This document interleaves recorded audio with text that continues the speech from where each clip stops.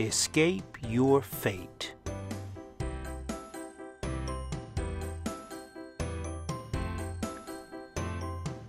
Hey Bob, how's it going, man? Things could definitely be better.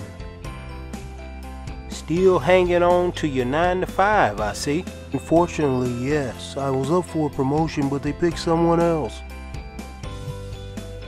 Ever since I quit my corporate job, things have been much better for me. Oh, really? Man, what I wouldn't give to be rid of my job. I tell you what, if you are serious, I can help you on escaping the rat race. After today, I'm more motivated than ever. I'm game. Hey Bob, I hear things are looking up, my friend. Yes, I've written my third bestseller. Thanks, bro. I couldn't have done it without you.